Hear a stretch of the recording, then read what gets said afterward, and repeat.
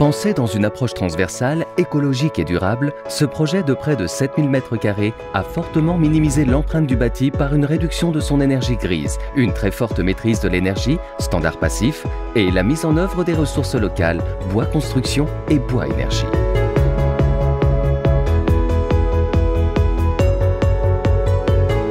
Le nouvel équipement s'aligne contre une route bruyante, au nord.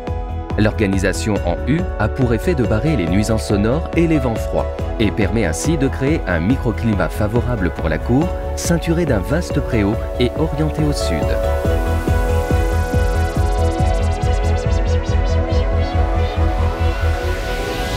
Abritant les fonctions communes, le socle est ponctué de patios intérieurs qui apportent une lumière naturelle abondante.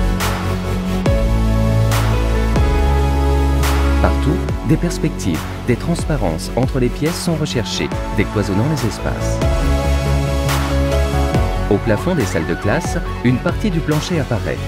Idem d'un mur à colombage avec son isolant en textile et son doublage bois, conservé à valeur d'exemple dans les étages.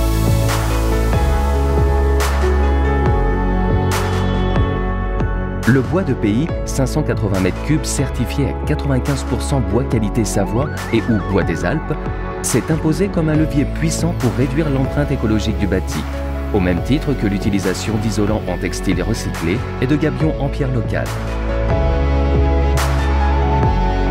Utilisé dans les niveaux d'enseignement du collège, ossature des façades, planchers, charpentes, on retrouve le bois dans les grands volumes du CDI et de la salle polyvalente.